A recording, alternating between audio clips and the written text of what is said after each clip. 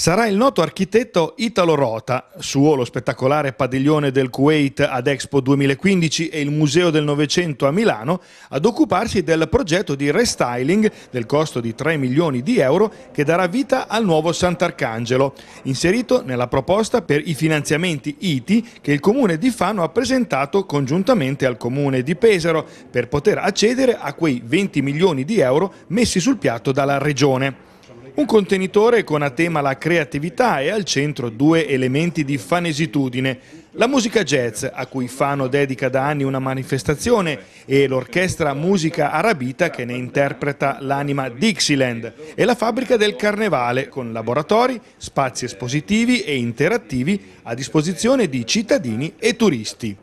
Una vera opportunità, come sottolinea il vice sindaco Marchegiani, dal punto di vista sociale, culturale ed economico. I posti sono tre su sei città capoluogo e noi grazie alla collaborazione con Pesaro partecipiamo di questa opportunità. Sono 20 milioni di euro che vengono distribuiti sul territorio regionale, il nostro ITI dovrebbe essere dai 6 ai 7 milioni di euro, quindi Fano può concorrere per circa 2 milioni e 4 di finanziamento, con cui cofinanzieremo poi circa mezzo milione di euro per le opere. Il suggestivo progetto di Rota, basato su innovative soluzioni multifunzionali e a basso costo e ridotti consumi energetici, sarà presentato alla città sabato 5 marzo alle ore 17 nella Sala Veri del Teatro della Fortuna e i fanesi potranno dire la loro su questa visione futura di uno stabile così importante per Fano. È una grande opportunità per la città perché Sant'Arcangelo è un edificio come d'altronde Palazzo Ricci a Pesaro che è diciamo, il pandan di questa operazione per la Casa della Musica.